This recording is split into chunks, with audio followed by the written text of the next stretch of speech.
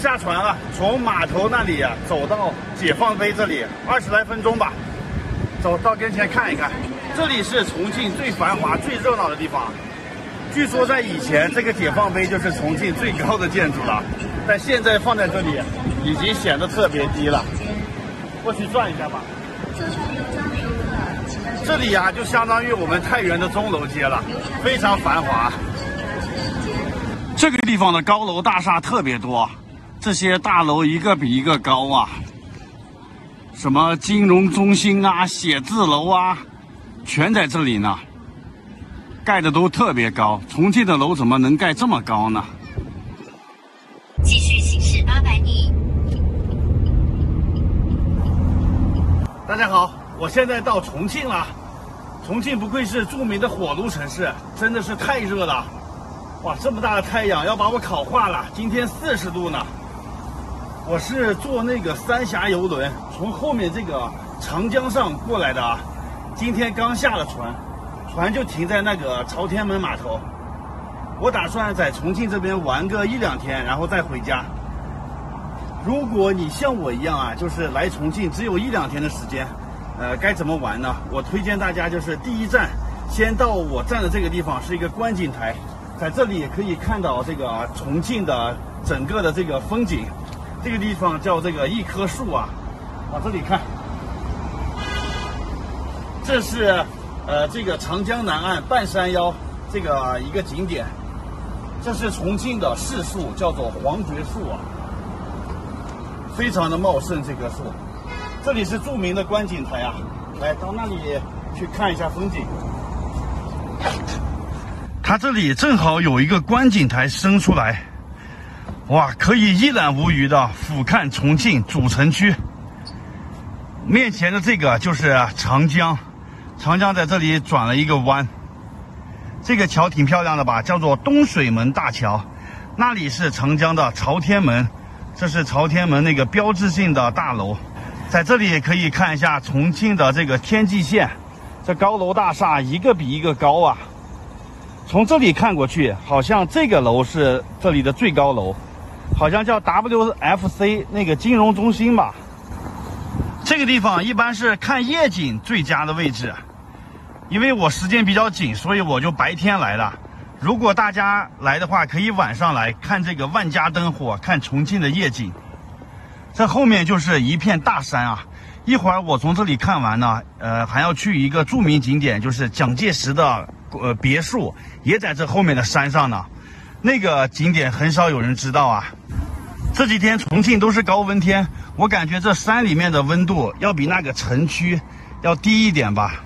山里它树多嘛，现在我要走到后面，还有一个观景的楼呢，到那个楼上去看风景，就是这里，这个景区的门票啊三十块钱，六十五岁以上的人是免费的。从这里上楼，最高是七层，但七层是户外的，就在六层看一下吧。哇，六层是室内的啊。哇，这个视野真是无敌了，太棒了啊！刮风下雨都淋不着。这里是三百六十度的，可以在这里转一圈看风景。重庆的人口有三千两百万呢，其中这个主城区住的一千六百万，哇，住的人真是太多了啊！嗯，从南山一棵树看完重庆全景以后。可以坐车到这个地方来玩一下，它两个离得不远，都在这个山上呢，叫做重庆抗战遗址博物馆。这个地方呀是那个，呃，抗战时候蒋介石不是来重庆了吗？重庆就是陪都，蒋介石在这个地方有他的别墅啊，在这儿住了八年呢。看，就在后面呢。这个地方还是比较隐蔽的。刚才我打车过来的时候，连那个出租车司机都不知道蒋介石在这住过啊。不光是蒋介石啊，还有宋美龄啊、何应钦、呃宋庆龄他们，在这里面都有别墅，大家加进去看一看啊，也了解一下那段抗战的历史，走吧。对了，门票是那个十八块钱，还挺便宜的。蒋介石这个别墅在这个大山上面呢，这两边的树都非常，呃，又大又高，把他的别墅能挡在挡在这个树林间，就敌人的飞机不容易找到啊。哇，在这个山头上就是他的别墅了，叫做云秀楼，一共是三层的小别墅啊，全是这种青砖灰瓦这个感觉，民国这个建筑风格。这个山叫黄山。黄山上建的这个别墅啊，看这里还写着呢，黄山陪都遗址。因为抗战时期重庆是陪都嘛，南京本来是首都，南京失守了，蒋介石他们就跑到重庆这边来了，就变成陪都了啊。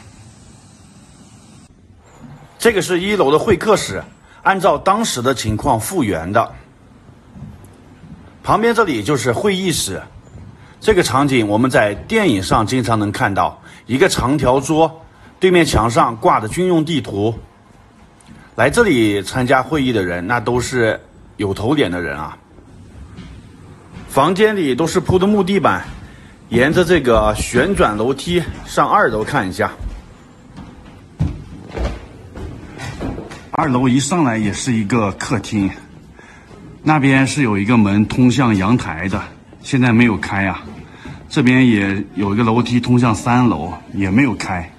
然后这上面一共三个房间，办公室、办公室，然后这个是他的休息室。这应该就是他的卧室吧？房间不怎么大，十几个平方，但是这些桌椅板凳啊、床头柜呀、衣架呀，呃，布置的都是民国时期那个风格啊，还有这个窗户。然后这边有一个壁炉，重庆的冬天这山上比较阴冷潮湿，有个壁炉可以保暖嘛。旁边是他的办公室，蒋介石在这里接见过很多有名的人呢，陈纳德呀，还是其他人。这里是他的办公桌，后面写的“艰苦卓绝，蒋中正”，不知道这几个字是不是他亲笔所写呢？办公桌上面有台灯、笔筒，这这个是涮毛笔用的那个，这个是笔架、电话机，这边是会见客人的一些沙发。再去那个房间看看，这地上铺的全是木地板，这里面是一些展览了。这边有个介绍，蒋介石在三八年十二月到四六年四月。他就待在重庆，他在重庆这边待了八年时间呢。他一来重庆就住到这个别墅里来了，然后这里还有一个防空洞呢，一会儿去看看。日本人曾经派轰炸机来轰炸他这个别墅，幸好他躲到防空洞里去了，但是有两个侍卫官被炸死了，还有十多个人受伤了。日本人是怎么知道他住的这个别墅的位置呢？他的保密工作做的不怎么好啊！防空洞到了，这个防空洞修建于一九三九年，它一共长是两百零二米呢，就位于蒋介石那个别墅的山下面，他们都是同一个山头。现在已经不开放了，呃，只有一个门啊，这个两边都是水泥砌的，应该是非常结实的，可以防这个飞机轰炸呀。哎，这个入口也是。特别隐蔽，如果不是有那个路牌指示的话，我也找不到这里啊。离云秀楼不远的地方，在这个小山头上，叫做有一个松厅的地方，这就是蒋介石和宋美龄住的别墅啊。为什么他们都喜欢住在这个山头上呢？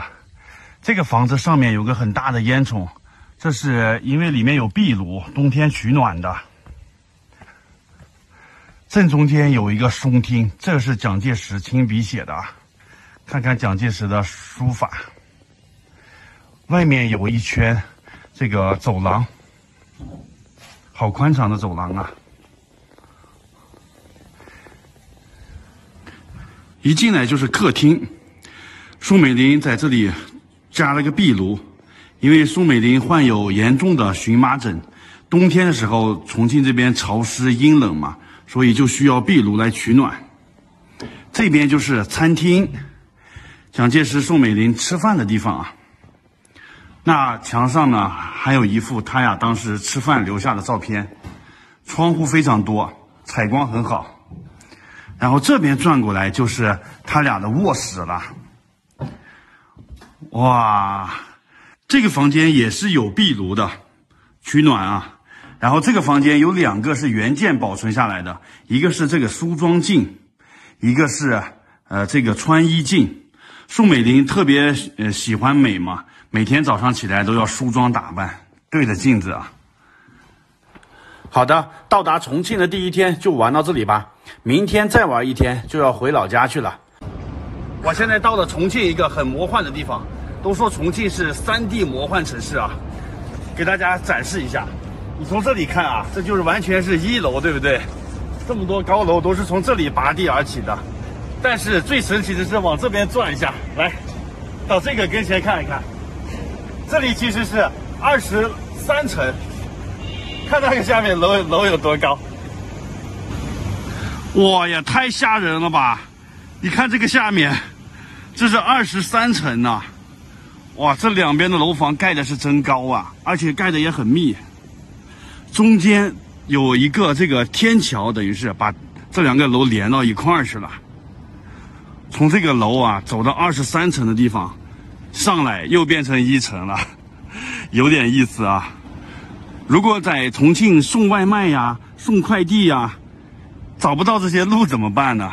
你看那边那两个楼之间都有一个天桥一样的东西把它俩连住了。如果你找不到那个小路的话，你就要绕路了。然后走到那边就是在江边了，嘉陵江边。哎呀，住到那下面是见不到太阳的吧？因为被这边的楼都挡住了。这就是三 D 魔幻城市啊！看看重庆的魅力。那下面这条路是直接通到江边的。昨天去了重庆的一棵树景区啊，今天到鹅岭公园看一下。这个公园有个特色，就是可以同时看到嘉陵江和长江。就在这个点上有个观景台，爬上去吧。今天重庆温度四十度。这个叫做看蜃楼，俯瞰胜景的这个意思。昨天的一棵树，它中间还有电梯呢。这个楼全靠爬楼梯啊！哇，中间是这个样子的，螺旋形的台阶，一共是七层啊，到顶了。哇，看一看重庆的景色，看对面那个楼那么多呢，挺密的。然后有很高的这个楼的地方，就是观音桥，重庆的一个 CBD 市中心啊。下面这就是嘉陵江，嘉陵江的江水比长江的要清澈一点，它是绿色的。这边的楼房更多更密，重庆一共是两千多万人吧。哎呀，这边就是长江了，长江从那边转过来的。长江现在的水位应该是比较低吧？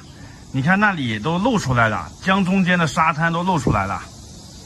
远处那一片大山就是有一棵树那个观景台，然后蒋介石那个别墅也在这个山里面呢。哇，这个位置确实是太棒了，能同时看到两条江。嘉陵江再往前流，流到那个大楼的位置就是朝天门，它就汇入长江了。太棒了，这个景色！哎呀，免费的景点，大家来重庆一定要来这里拍照啊！这登高望远的感觉是太好了。转一圈看一看，这个公园里面树还挺多的。顺着这个嘉陵江一直往上走，呃，就到了磁器口了，是一个古镇，在那边呃买点东西挺好的。对了，忘了说了，这个楼的下面就是著名的轻轨穿楼，那不是有一条那个轻轨吗？顺着这里就穿过这栋楼了，从这边又穿出去，然后这里好多人拍照打卡的，这个景点在重庆特别的火啊。这个地方是牛角坨，这边是观音桥，这个地方风景太好了，合张影吧，游客打卡照。这里写着“重庆欢迎您”，哇，这么大的字立在这里啊，生怕别人看不到呢。重庆果然太热情了。吃了晚饭，来重庆的洪崖洞拍夜景。洪崖洞的夜景非常有名，前面就是朝天门码头啊。看这边这个桥，太漂亮了吧！晚上比白天更好看。这个就是嘉陵江了啊。然后这条江上面好多的这个游船，这都是夜游嘉陵江和长江的。游客也很多，船也很多，漂亮吧？而且大家看嘉陵江对岸的这些楼房，这夜景真是无敌了。然后他们这些图案都是统一的，确实是太漂亮了。下面就是临江的这条路，这条公路。然后一会儿呢，我要走到那个洪崖洞的下面，从它的正面去看，夜景会更漂亮。现在是在侧面呢。晚上的重庆。游客很多，现在也挺热的，都九点多了。重庆的夜景太漂亮了，三 D 魔幻城市。现在走到这个江边去看一下洪崖洞，走吧。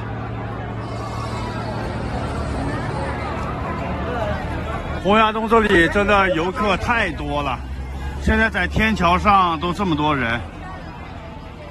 这个地方只能远观，你走进去的话就没什么效果了。从这里远远的看，这个吊脚楼啊，非常梦幻。这里是重庆最堵的地方，车也多，特别堵车。现在走到江边了，从这里可以看到洪崖洞的全景，这个夜景很漂亮吧？但是这里游客非常的多。你看这有多少人啊？全都是人啊！人一多吧，就有点嘈杂，特别的乱，乱糟糟的感觉。而且还有好多人拿着大喇叭喊：“坐游船吗？坐游船吗？”吵死了，一刻都不得安宁啊！因为这下面全都是这些游轮，很多游轮的。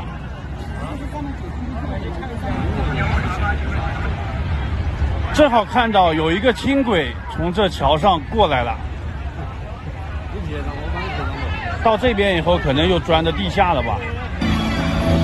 路过了八一好吃街，这里有点嘈杂呀，又放了音乐。哎呀，我现在可能年纪大了吧，受不了这种嘈杂的环境，我就不进去了。里头应该是卖一些重庆的特产吧。哇，这个晚上的夜行街，呃，步行街也是非常多的人呐。我现在越来越受不了这种人多的场面了，好想找个安静的地方啊。这个好吃街的招牌太炫了吧，看着人眼花缭乱的，特别抓眼球，看着头晕啊。重庆之旅结束了，坐飞机回到太原了。在太原好好休息几天，拜拜。